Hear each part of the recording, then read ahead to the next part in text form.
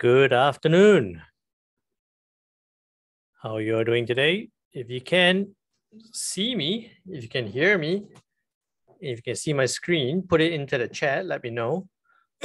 welcome, welcome.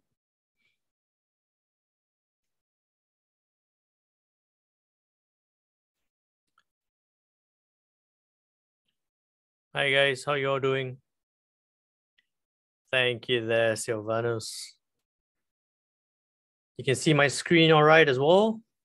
you know, one thing I like to do is while you are, while everyone is streaming in, and we'll wait a minute or two for everyone to get in, uh, let me know where you're joining us from, right? Let me know where you're joining me from. I always love to find out and to see where is everyone from. Super. Keep it going. Keep it going. We've got all of you in here. I hope everyone will let me know where you're joining us from. I just like to know where is my audience coming from. hey Gary, how are you doing? Hey Robert.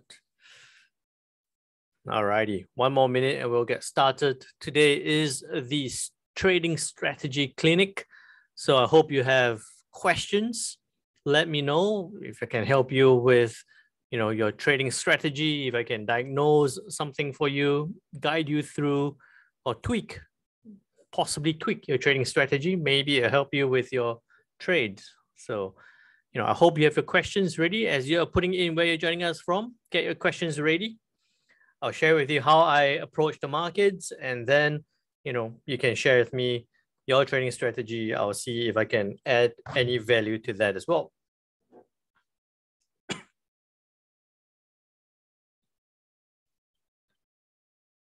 Good morning, oh, Okiri. All right, super, super.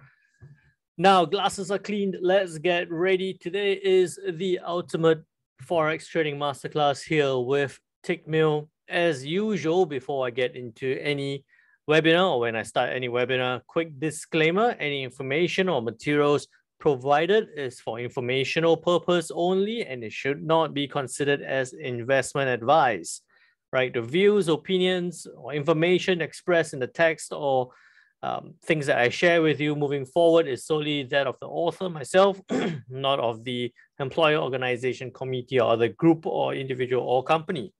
So what it basically means is that I will be sharing with you some trade um, or how I approach the markets, how I look into possibly jumping into some trades.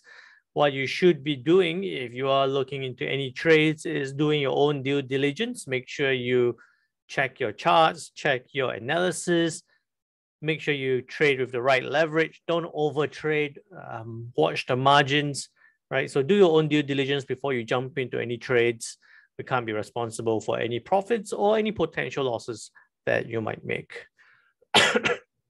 With that, um, again, this is the trading strategy clinic, right? So if you have any questions, please feel free to ask into the chat or into the Q&A. I will, you know, I look forward to seeing your questions or you know, even knowing how you trade, maybe I can add a little bit to that to help you get more profitable with your trading. Okay. Uh, what I'll also be doing is I'll be sharing with you how I trade, um, the different ways I look at the markets, the different um, trades that I look to jump into as well. All right. So just a quick introduction. My name is Jin Dao. Most people call me Jin. Um, I'm one of the traders here um, at the Everest Fortune Group. I do, I have had a fund which I traded before, and now I do full time trading and analysis. So please let me know. You know, if you have any questions, I'll be happy to help. With that, let's get started. Please reach out. Um, let me get rid of that. And let me bring that up. Okay. hey, Gerald, how are you doing? So what I the way I approach the markets is a little bit different, right? The way I approach the markets, um, I know most retail traders, most traders jump onto the charts. First thing they do, you know, they download MT4, they look at the charts, they do up patterns, they do up indicators, they look at different reasons or um, analysis or whatever they get to get into a trade. I do it a little bit differently. I look first into the fundamentals, um, into economics, because you know I did have an economics training from before. So I look into the economics first, identify what or whether price should be going up or should be going down before I jump into the technicals to look into the sorry, coughing a bit. Uh, I look into technicals, look into the timing of whether to get into the trade or not. All right. So basically, what I'm looking for is if I think that fundamentals or based on economics, price should be going up, then I'll look into the technicals for it to bounce off a support or for the indicators to tell me that it's pointing up or for price action to tell me that there's a potential reversal, then I'll get into the trade. If everything in the technical side is pointing down, then I'll know, hey, I'll be waiting to buy, but it's not ready right away. All right. So Rena just asked, what's the best strategy for trading um, in XAU, USD, or gold? What I would say is that, okay, so just to disappoint you a little bit, there's no best trading strategy. Um, it's really based on what you're comfortable with, first off, right? Well, first off is what you're comfortable with, because my belief is that there's no one strategy for everyone. Okay. There's no one strategy for everyone. Um, customize it to what you're comfortable with, what you're comfortable with in the in the aspect of your trading capital, your risk appetite, and also how much time or effort you're going to put into the trades, right? Because like for myself, I trade full time. I look at the charts all day, every day. I'm looking at H1, H4, M15, sometimes even the one minute charts. But if you're a retail trader and you don't have that much time, you know, you might look at the charts one hour for every day or a couple of hours a day, then you know you might want to stay on the H4 time frame, something that you don't have to manage too closely, something that you can pop in, check out. If there's a setup, get into it. If not, move on with with life. You know, look at it the next day again. Okay. So one is the time frame, how much time and effort you're gonna look into it. Um, the less time you have, the bigger time frame you should be looking into. Right. But that said as well, what I actually recommend to all traders or all retail traders is to you know stay on the H1 at the very least, right? Don't go down below H1 because it gets it tends to get a little bit noisy, it tends to get a bit messy. So if you do try and jump into the smaller time frame, you might miss or get caught out in a lot of um, short-term fluctuations. All right. So, but that said, all right. So, um, just to answer Rena a little bit more, is that when you look at gold, right? Um, can you all see my chart here? Okay. When you look at gold, what I tend to do, gold, I I don't look at it for the short term. I look for gold more in the long term time frame. So look at it on the daily and on the H4 at this point now, looking at it on a daily time frame, right? I'll highlight that gold has been or had tested that 1677 level first time back in August 21, and then very closely came very close on July, when was it? July 21st, right? We came very close to that point again. So just be extra careful when you're trading gold. You know, I look at it on a daily time frame, find a key support level. Another point I noted on gold was that it had, because I look at it on a bigger time frame, you know, you can see that downward push as well, right? That diagonal trend line towards the downside. Now with gold sitting at 1732, right? One thing I would be looking at, like Richard is asking, about the fib levels. So I go down to the H4 time frame here. Look at that. Push it up. Wait, where's all my lines? Um, let me put all that in. All right, so there we have it. So you can see that that move up, got my fib level towards upside there.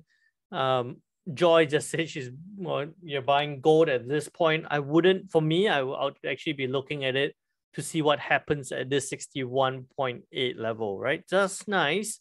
You can see that back in July, it's hit that level, resisted a little bit before it broke towards the upside. Right now, tracking lower. so I want to see what happens at this point. If if price comes down to this point and bounces, then I could be looking to buy gold back up in the short term, back towards possibly towards that trend line level, that downward trend line. But what it looks like, more likely the case, is that price is likely to come down towards 61, 61.8 and possibly break towards the downside, right? So one thing to pay attention to when you're looking at gold is that it has some correlation to the dollar, to the dollar index, to the DXY, right? So why we're seeing this move towards a downside on gold, one of the reasons is because you can see on the DXY, we've had that big, take that away, big move towards the upside. Okay, so because we've seen gold push towards the upside, also correlates to what we've seen in gold pushing towards the downside. So would it be a time to buy right now? For me, I would say I'll wait a little bit. I want to see what happens at this level there, or rather let me take that away. I want to see what happens to this level here at 61.8. Um, if it breaks, I would look to hold, wait for it to go down further, then to buy it back up. Or if it bounces, I would look to buy it towards upside. For me, I don't look to sell gold. I only look to buy it um, towards the upside. For the longer term, I'll look for an upside move. All right. Um, I hope that answers your question there for Rena and also for Joy. Keep the questions coming. I'm enjoying this already.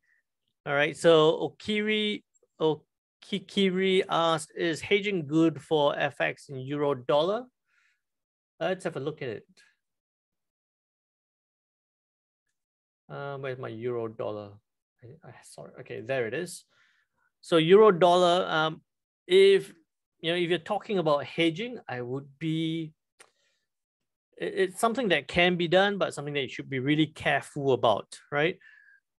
If you're talking about hedging as in, you know, to look to buy and to offset it against or to sell and to offset it against something else, shouldn't, unless you're super experienced with your trades, shouldn't be looking at a hedge at hedging or is aging yeah, aging I think you mean hedging right? Um, try and keep it a little bit more simple.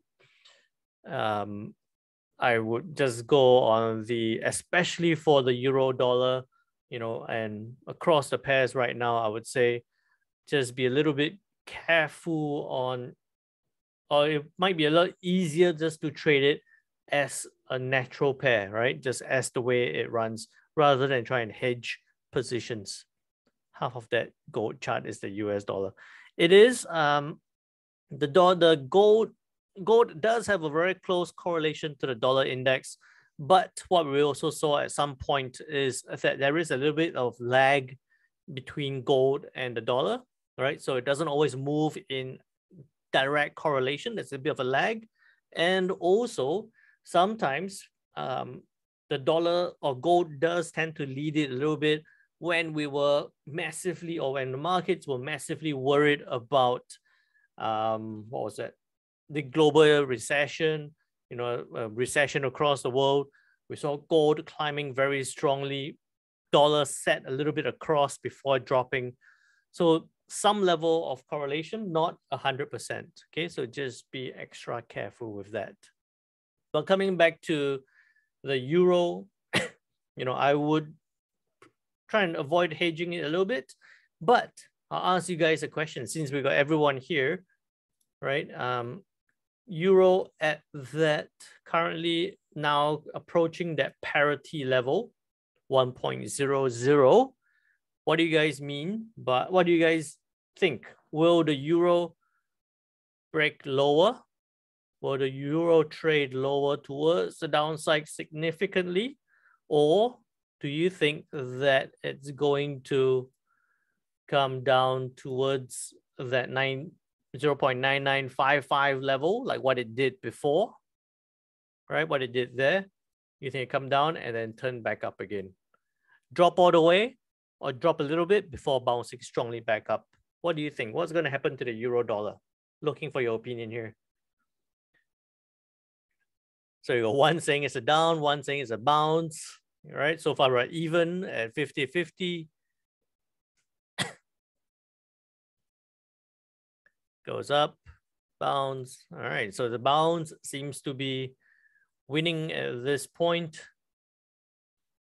Okay, um, at this level, let me just try and add in, trying to be a bit funny here. I'll add in a couple of things if I can find it. Um, where is my indicators? All right. So this was an analysis I was doing before. Um, just something that you might want to be, you might be interested in, or just something to watch out for. Uh, we have the 50. If I'm not wrong, this is the 50 moving average, and that's the 200, right? So what happens when you see a 50 moving average cross downwards from a 200 moving average. Do you guys know what is it called? And um, what, ha- what is likely to happen at that point? If 50, if the 50 MA crosses down from the 200 MA. So if we see this happen.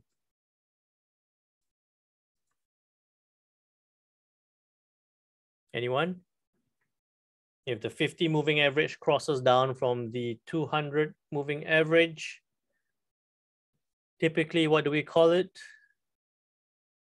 All right, typically it's called a death cross. Death. I'm trying to write with a mouse, so pardon my writing. Oh, no R. Right, so 50 across the 200 death cross it does signify that we might see significant downside. So this is something that I'm watching at this point right now, um, whether we're going to see this crossover. If we do, then we might see significant downside on the euro dollar. Okay, so I'll show you an example here where we saw the 50 cross down from the 200. All right, so it is a little bit lagging came back, it tested, but then if I zoom it out, you can see that we saw that big downward move with the euro dollar after that cross. Yep, the cross is somewhat of a confirmation of trend. So something to watch out for. It has happened once already here in June. Uh, bounce back up, hit that 200 before end of June, tracking all the way down. Is that going to happen again? Let's watch out and see. Uh, simple moving average, Robert there. That's a simple moving average, 50 and 200, death cross. Okay, uh, let me just catch back a couple of questions that you guys had.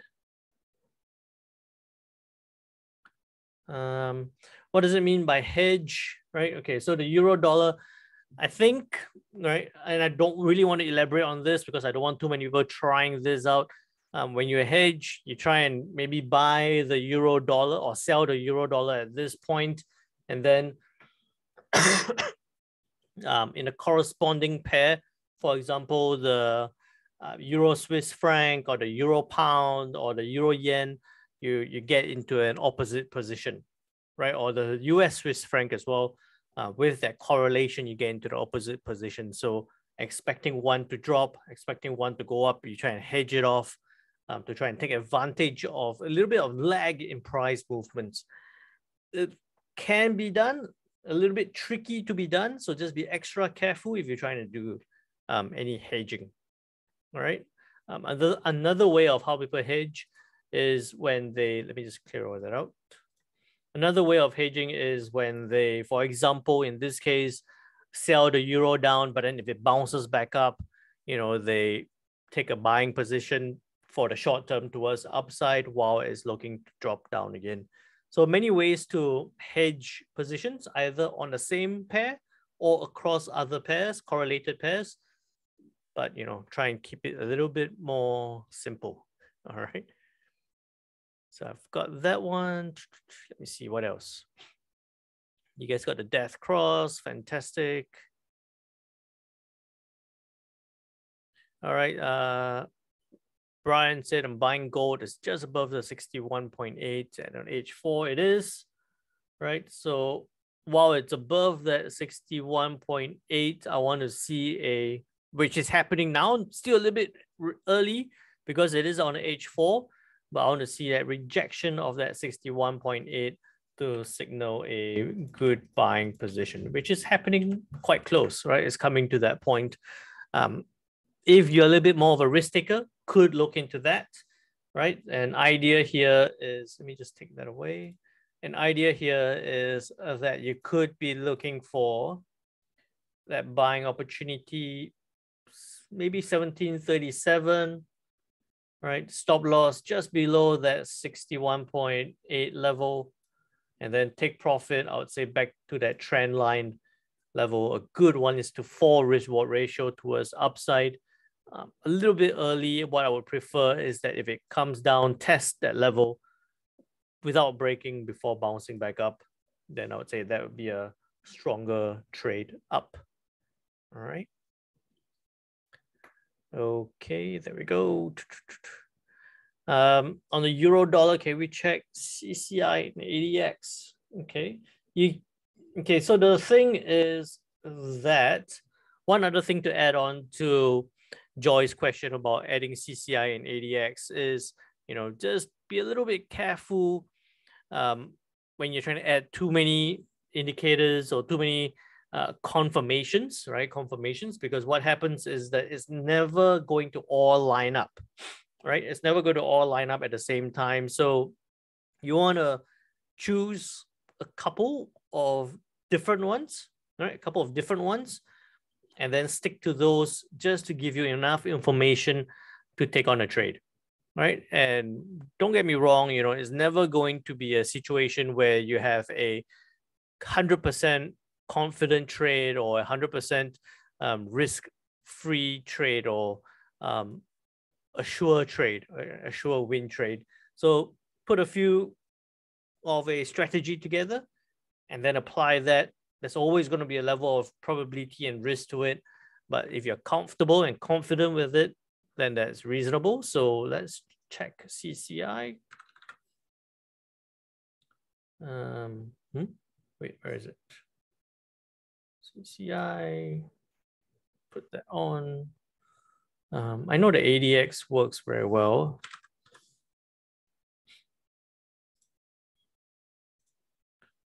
All right, so we do, we do have it pointing a little bit. We do have a little bit of expected of a fluctuation on the H4. If we look at on H1, we might see it retrace. So this is where it might tell you that it's going to retrace a little bit before turning back down again. So possibly, um, I do think that it's going to retrace a little bit, but just be a little bit careful on um, having too many indicators at this point, okay?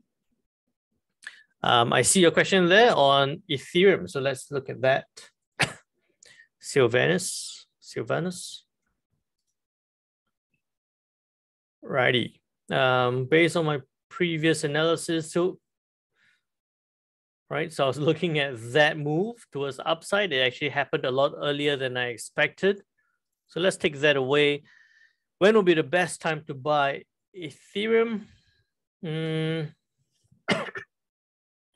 I'll put in a level here, right, at that 1574 because it bounced off, it bounced off. It's sitting right there right now. If it does break towards the upside, I would say be a little bit careful because we have had that big downward move since the 14th, since last week on Ethereum towards the downside.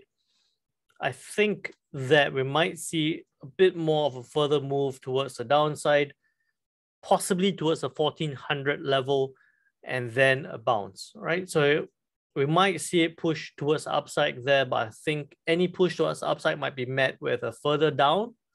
I'll be looking for a reaction at about 1400 for that more longer term or more sustained move towards the upside.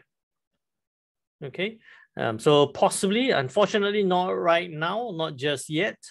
Any move might is likely to be kept at about 1650 right? You might see move being kept at 1650 before turning back down again. So just be a bit careful there. If you really had to buy, or if it doesn't turn towards the downside, then I would only look to get in above 1650 uh, for that push towards the, towards the upside.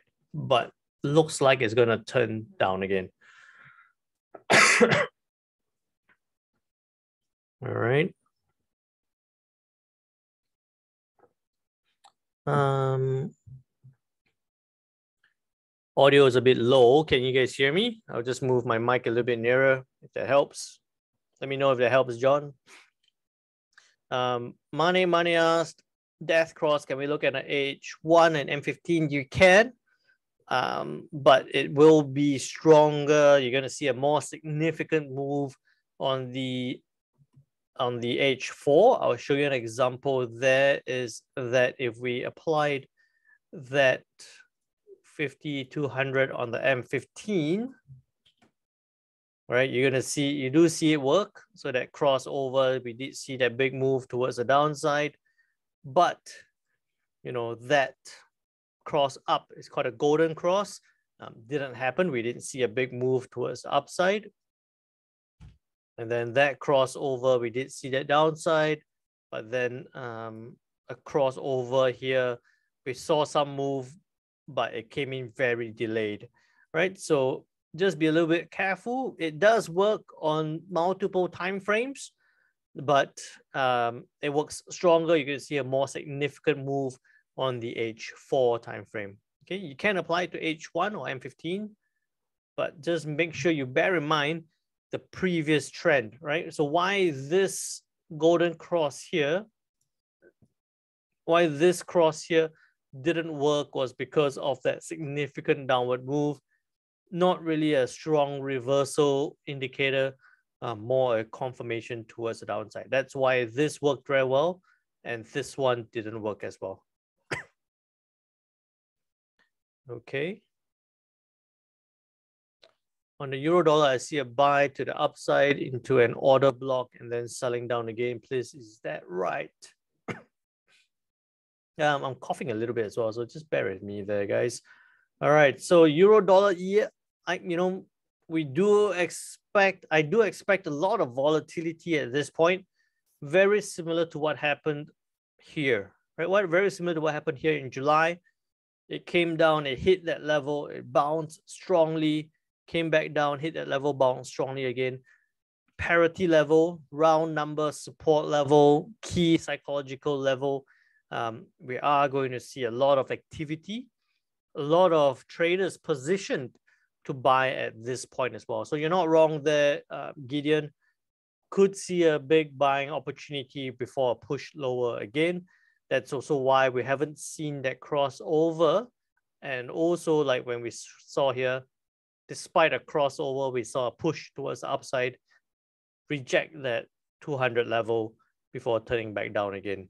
I don't think we'll see it come all the way up, but I think we might see it push up towards that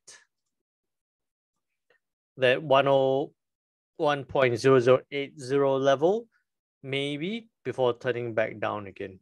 So yeah, you're on point there. What happened when you take profit and not and did not take losses? Um, it's one of my strategy. What did you think about that? Um, very tricky very tricky if you if you aim to take profits and not losses because what could happen is that if you can't manage the trades if you can't manage the losses then you know it could end up with nothing right you could be making money making money and then one big loss could wipe out all the profits and even capital as well. So just be extra careful with that. um, if you take profits only and not losses, it could have a uh, very big impact on your trade there. Okay. Got your trade in, and I see a question there on Dow, so I'll get to that later shortly. Um, gold 1733. Let's look at gold. You guys love gold. All right, 1733. Oh, you just caught that tail there at about 1733. Take profit 1760. Stop loss 1727. That makes sense. I would say that makes sense as a trade, a good risk to reward. Um, good rejection of that 61.8 level could work. I, I hope it works for you as well. um, an order block, or what we would say is a bit of a demand zone, is when you see prices or you see um, price drop to that level, sit at level, and possibly shoot up. So that's usually when we have a support or a resistance level in this case of the euro, right? A lot of traders could be anticipating that the euro dollar will bounce strongly from this point, right? Could be anticipating that euro dollar will bounce strongly from this point. So what happens is they put a pending buy, right? They put a pending buy order for price. Once it comes down to that point, they'll buy in, push towards upside, right? Or another pending order is when a lot of traders have stop losses just below that parity level, right? If they have stop loss just below that, price comes down, hits their stop loss, what happens is they would have to close out the trade, means a buying um, an order goes through again. So what we usually see is an order, what we call an order block or demand zone in those areas there. Okay, that's why we also see a lot of volatility um, at very key support levels or key resistance levels because a lot of trades or a lot of orders are being placed within those levels. All right. Um, I see a question from Justin on parabolic SAR. I'll get to that just after I get into this um, sell opportunity on the Aussie yen. All right, so let's look at Aussie yen. There we go. Let me clear out some lines. So I'll take, well, take that away as well. Okay, so Aussie yen selling opportunity at 94.96. So it's about, oh, 94.96. Okay, I like that. So 94.96 is about right there.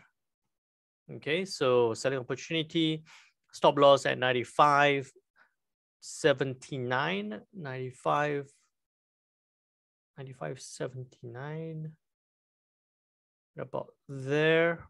Okay, so above that previous high. Where's your take profit there? Um, Dal Lux Olo. Sorry if I'm getting your name wrong, but let me know. All right, where's your take profit going to be if that's your 95, 79 is your stop loss? Okay, um, I see a question there, Rena, as well, and Kingsley. I'll get to that shortly. So at this point, what I would say is that it does make some sense for the um, Aussie yen possible downside, right? Why why possible downside on the Aussie yen?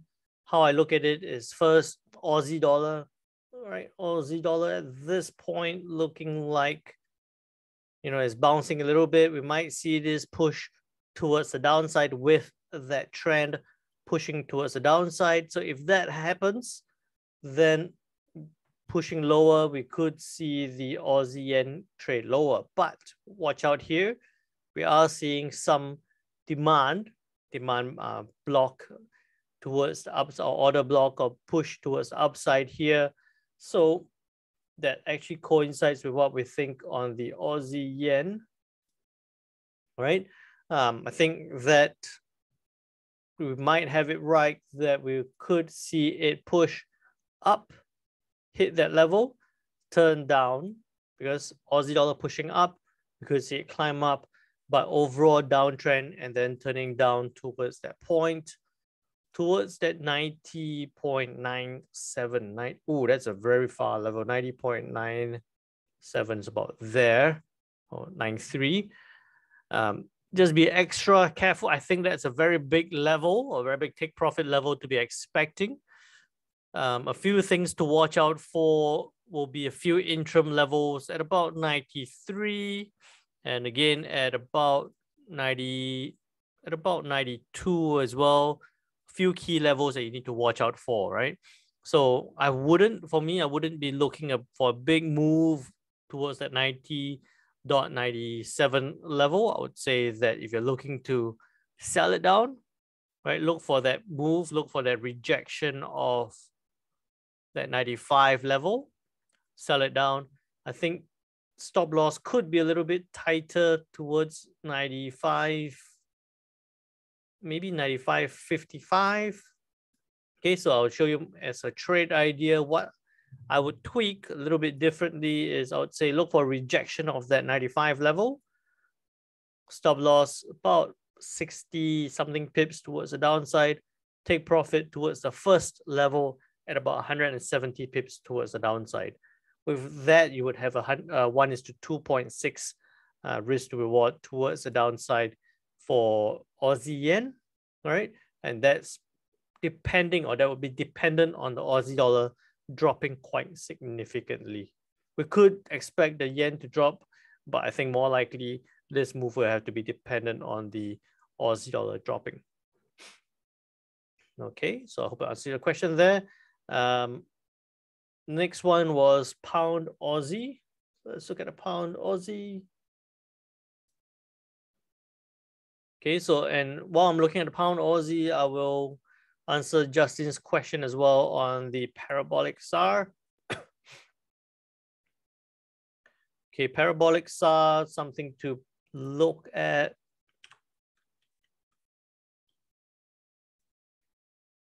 Right, parabolic SAR is basically those dots right? Those dots um, that gives you a bit of a momentum or to show you whether momentum is strong or weak in either direction.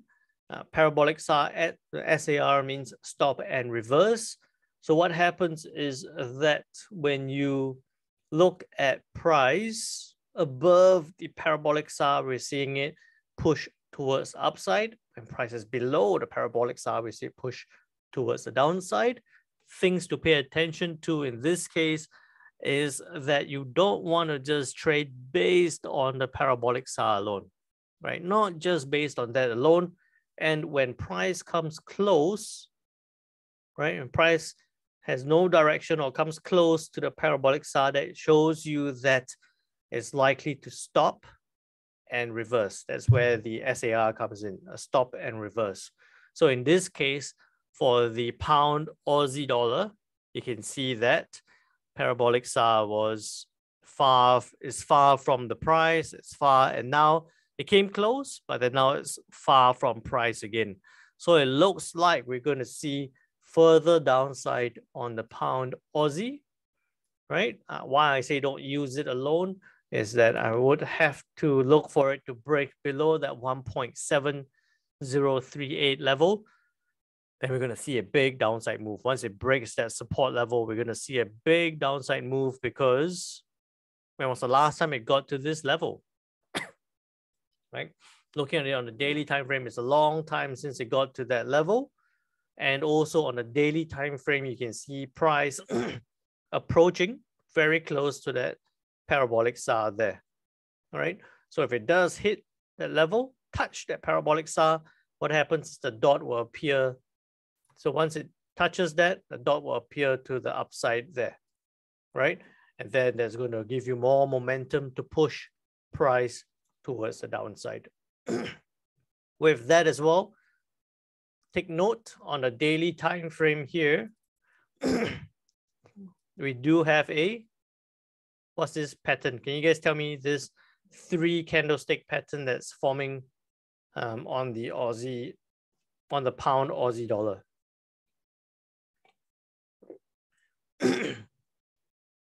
it's three candlestick pattern forming on the pound Aussie dollar. Okay, so that's a three, nope, uh, three, not three soldiers, three white soldiers is towards the upside, which we saw this one there, right? This is the three black crows indicating possible downside move. So it hit that support level. We saw a reversal with a three white soldiers. it hit that level, and now we see that tracking back down again. So this would be a confluence where we have a three black crows pointing towards a reversal. If price breaks below that support, we're going to see more downside. Um, if the PSAR gets hit, it appears towards upside, pushing price lower. So how it looks like, we might see further downside on the pound Aussie dollar. Remember, please do your due diligence and analysis before you jump into any trades. Alrighty. Okay, uh, what should be the best partner for parabolic SAR for profitable trading? I would say that you know you could do parabolic SAR together with um, support levels like we've just done here.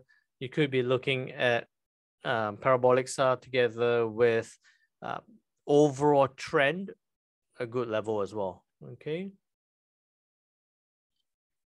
Um, is there any trading stocks, futures, forex that doesn't take fundamental analysis into consideration?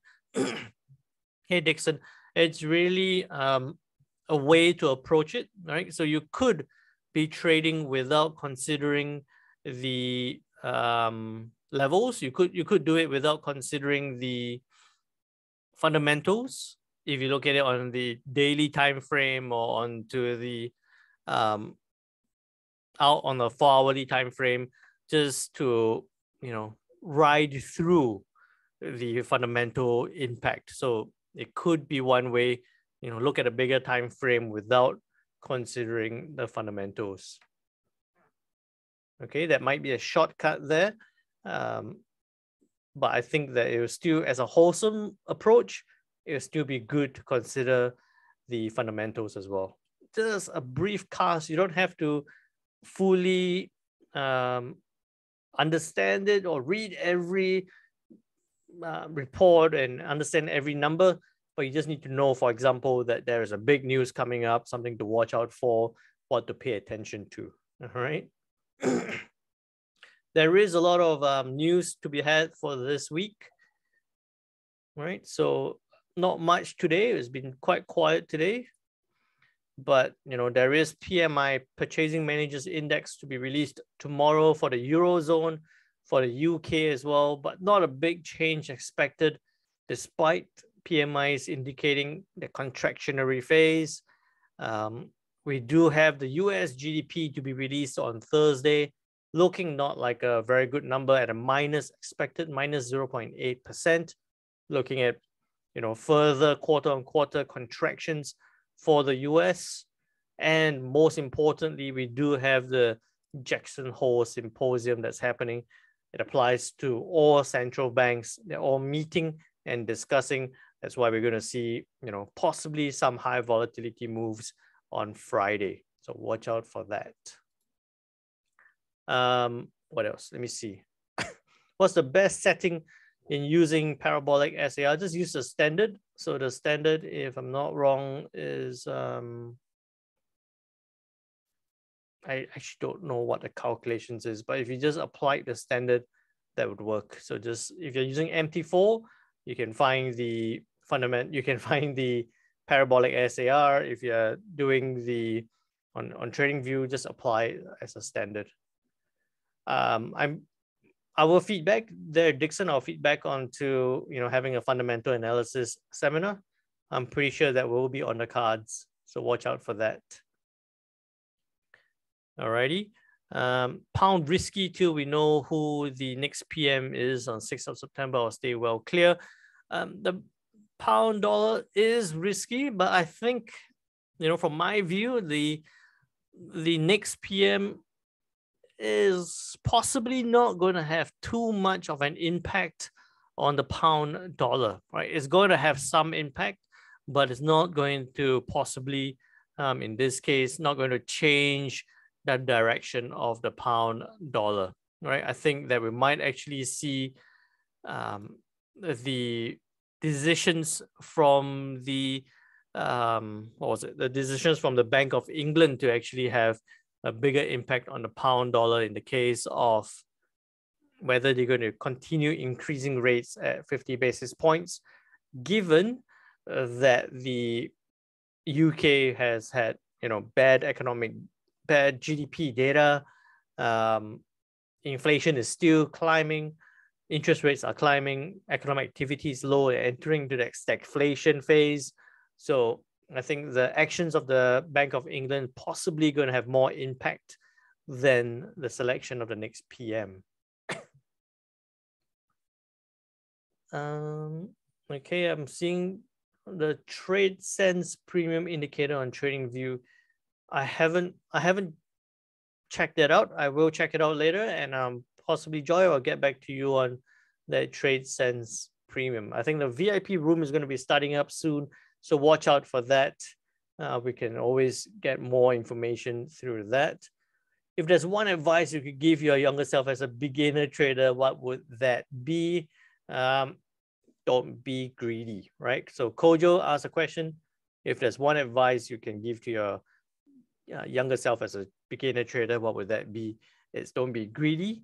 Um, why I say that is because when I first started trading, you know, I traded all the time I was buying and selling at every moment, um, ignoring trend, ignoring a lot of things. Now it's the more sensible way to approach it will be to follow a setup, right? If it's trending down, I wait for it to turn down before getting to a trade instead of you know buying it for the short term and selling it for the longer term. So don't be greedy, be a bit more, be a lot more patient, keeps trading a lot more enjoyable that way. I hope that helps you there, Kojo. All right, can I can you be my mentor and guide me through my training career? Hey, Bernard, I'll be happy to do that. Um, there is going to be a VIP room set up for Tickmill um, clients, so do watch out for that. Um, we can always help you through your trading career or trading journey from there. Right, Timothy, welcome. You joined late, but you're following. Um, this is recorded, so watch out for the recordings. I think you can catch it back when we have when it's being uploaded. Uh, one of the candidates weakened the pound dollar because of the comments they made on the future role of the Bank of England. You know, the Bank of England is always, or the central banks are always going to be independent parties. So I think that comments possibly going to only have a short-term impact, not a long-term impact on the pound dollar. How do we use Fibonacci retracements on the charts? Quite straightforward is that you can be, you know, Fibonacci is there. What you want to do, right, show you an H4 time frame is to, let me just remove that as well. Okay, you look for uh, turning points, right? Look for turning points. In this case, as an example, if you just did that bottom of the point all the way to the top, right? That's your Fibonacci. And then you can actually see from that point, um, the 61, pay attention to the 61, the 50 levels and the 23.6 levels. You can actually see how price hesitates at those points, right? It's trading down, hesitated at the 61.8, bounced back up. Once it breaks lower, kind of invalidates that level already, comes back up, does test a little bit before trading back. It did test that 50 level again before turning down again, right? So straightforward. I'm sure we can do a Fibonacci session as well. Um, look forward to that. Is that you know you look for the lowest point, you go from the left side to the highest point on the right side to draw a Fibonacci level. All right. Yep. Okay. Yes. Don't fall. Don't don't predict the market, right? Don't predict the market. Wait for the setup that comes to you. Trade what you see, not what you think. Um, I uh, I will check. I think this will be uploaded into the YouTube or possibly sent out. Let me just check.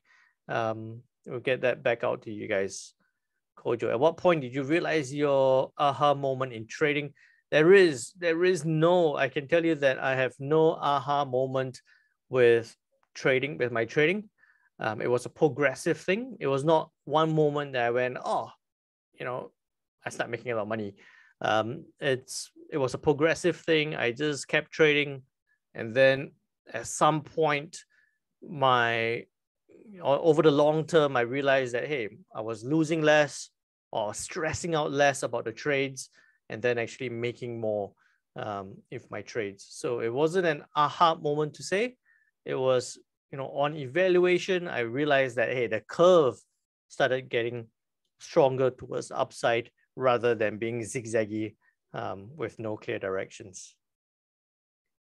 Uh, Rainy, watch out. You know, the trading room on Tickmill, it is coming. I don't know the details, but I'm sure that they will be sending out the info to you sooner than you think. All right, so watch out for that. What should be the least amount to start trading if you're a beginner? Hey, start trading with uh, pretty much any amount that you can afford, right? Trade the most that you can afford. I would say a thousand dollars, five hundred to a thousand dollars is a good starting point. Thousand would be better. Um, if you can, five thousand dollars would be the best trading. I started at ten, right, and I've built it progressively. I've lost money, I've made money, but ten, I was comfortable with that. So start trading with whatever you're comfortable with. Okay. I'm using fib where we put our stop loss. I mean, using fib, you put your stop loss just above. You don't want to use fib alone, right? So never use one indicator alone or one strategy alone or one indicator alone. You know, put it in a pair. I'll always put my stop loss level just above a fib level, right? If you're looking to sell it down, then this is a 50 level. Put it just above that Fibonacci level because that Fibonacci level protects your stop loss. So you have two additional protections, the Fib level and then your stop loss protecting your accounts. All right. Um, do you have any recommended books for new starters? A lot of books, right? Um, you know, read, just go search a lot of books, read everything you can. Um, but I would say nothing beats that practice beats nothing beats that experience so trading is all about you know that screen time in front of this you know trades watching the charts watching how price moves even if you don't enter a trade watching how price moves gets you that um, idea or that feel of the trade you know um, not many people would say it but you know I, I would say read the book if you really have nothing else to do but you gain more from watching the price movements than you would reading about a strategy on a book. What would you say is your ideal trading strategy? I say, hey, ideal trading strategy. Um, what I do now, right? What I do now, a combination using economics, right? Giving me the overall view, the fundamental view, and then a trend following strategy, a trend following I'll follow the trend. I'll have one or two indicators, price action to show me a rejection of a resistance level or a breakthrough of a support level. Um, just that price action alone together with the fundamentals gives me um, a great trading strategy, right? So how I would approach it is that, you know, I would look at, for example, um, on Thursday, at 8.30 expecting the US GDP to be bad, to be a negative number. We're going to see some downside on the dollar. Then I'll be looking for fluctuations for some dollar weakness.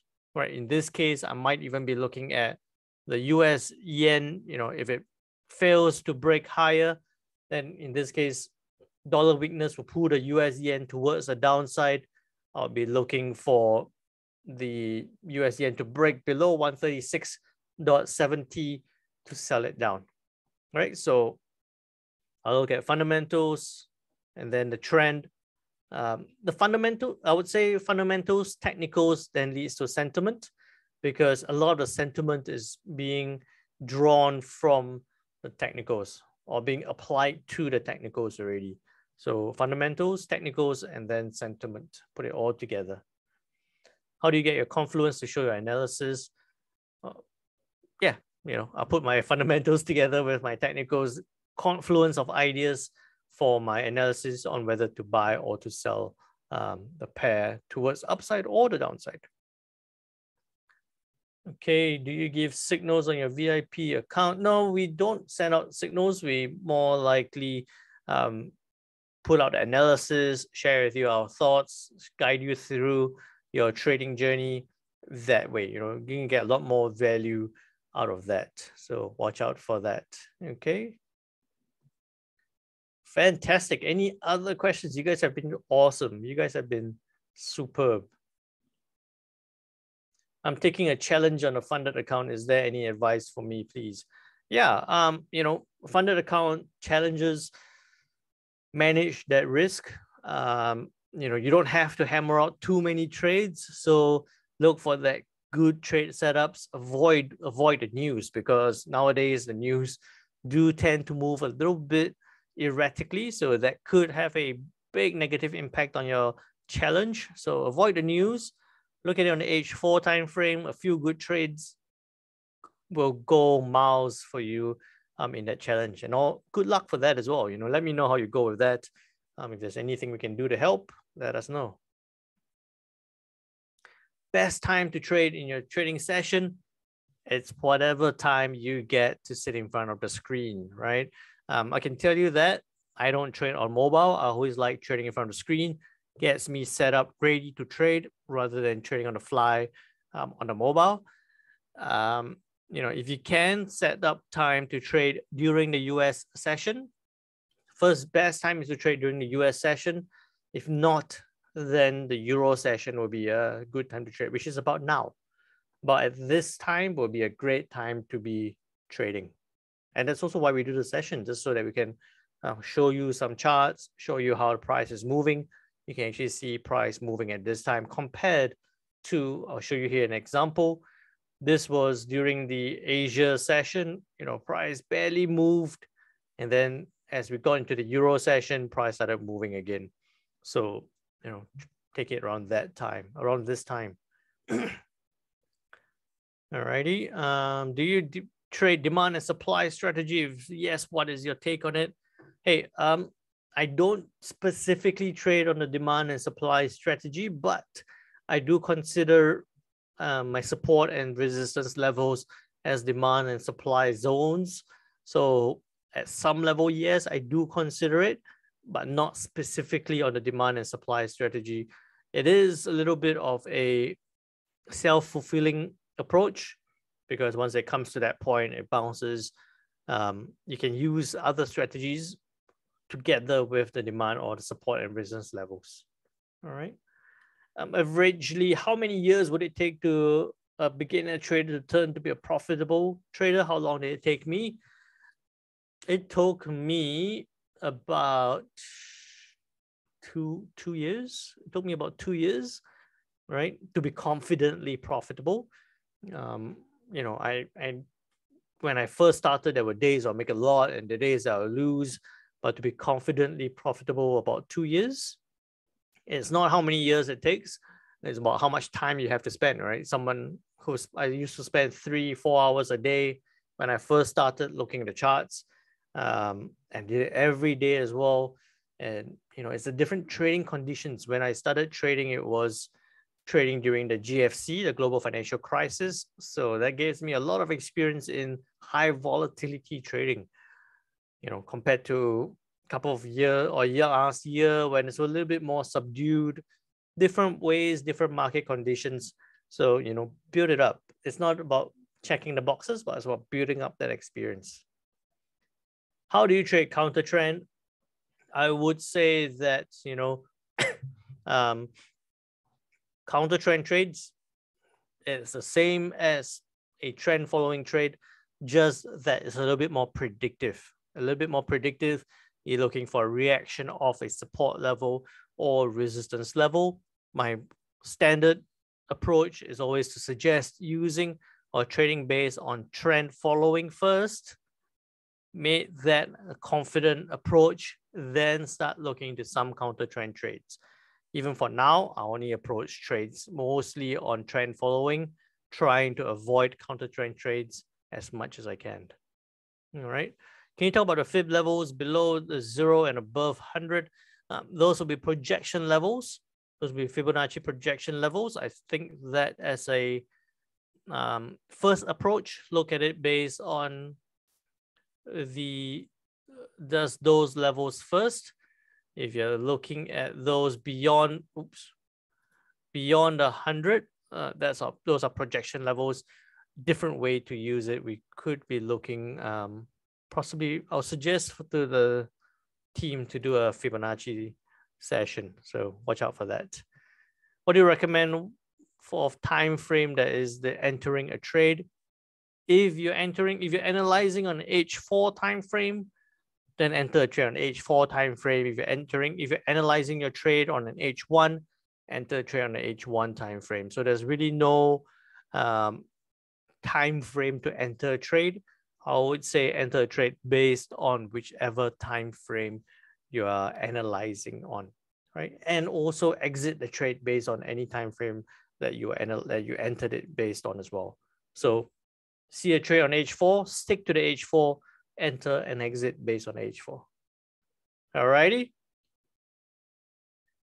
Good stuff. So as we come to the end of the session, please let me know, did you have a good session? Was this helpful? Um, I will feedback to to the team about a Fibonacci uh, and fundamentals uh, seminar. Yeah. And then uh, watch out for the VIP room that will be coming up soon. Information will be sent out to you shortly as well, I believe. Very solid experience. Fantastic. I'm glad you enjoyed the session there, Joy and Gideon. Thank you all. I will check with that on that, Bernard. Alrighty. So with that, make sure you trade well, trade safe. Take care now. Bye bye.